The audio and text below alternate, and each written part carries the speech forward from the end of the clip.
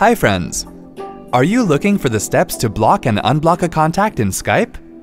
Let's go ahead and see how you can do so on your Mac. Click on the Go menu and then click on Applications.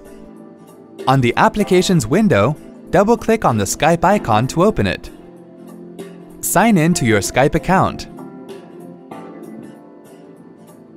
To see all your lists, go to the sidebar and then click on Contacts. To block a contact, in the Contact List bar, click on Skype. Right-click on the contact you would like to block, and then select Block followed by the name of contact. A message box will appear with the prompt, Are you sure you want to block the contact? If they've sent you spam, you can also tick Report abuse from this person if required. Click on Block. The contact will be deleted from your contact list and blocked.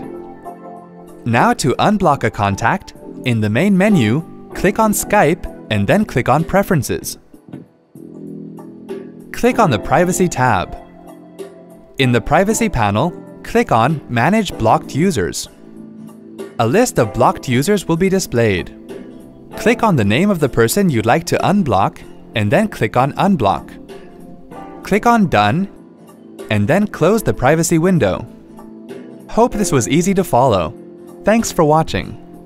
To check out more related tech videos, click here. If you have any query or want to share something with us, click here. To get iYogi tech support, dial toll-free numbers. To stay empowered technically, subscribe to our channel.